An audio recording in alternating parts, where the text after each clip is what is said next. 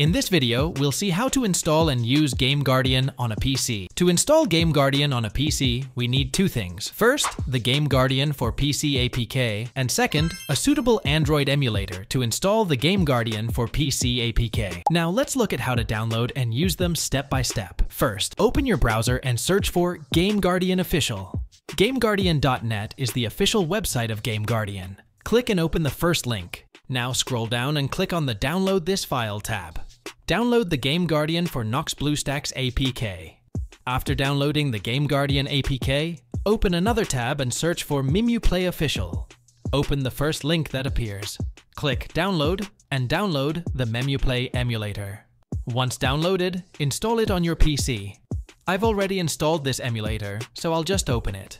Always open it as Run as Administrator. After opening the emulator, click on the system settings on the right side. In the engine settings, click on the root mode and turn it on. Then click OK. Now, click on Restart Now. After restarting, click on the APK icon on the right side. Now, import the Game Guardian APK you downloaded for your PC. Game Guardian has now been successfully added. Next, click on the APK icon and import your game in the same way. Once the game is uploaded, open Game Guardian. Click on Default.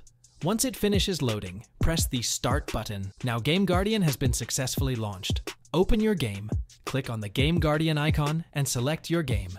Now close this tab and start playing the game for a while. We now need a specific amount of coins, so continue playing until you earn a specific amount of coins. After collecting a specific number of coins, pause the game, note down the collected coins, and click on the Game Guardian icon. Then, click on the search icon. Now, enter the coin value you noted down earlier. Next, click on the Type tab. Select Dword. Now, click on New Search. You will see many values, so let's continue playing the game and collect more coins. Pause the game again, note the coin value, and click on the Game Guardian icon. Click on the search icon again. Enter the coin value you noted down earlier. Now, click on Refine. Now, you should see only one value. Click on that value, enter the value you want, and click on the Yes icon. Close this tab.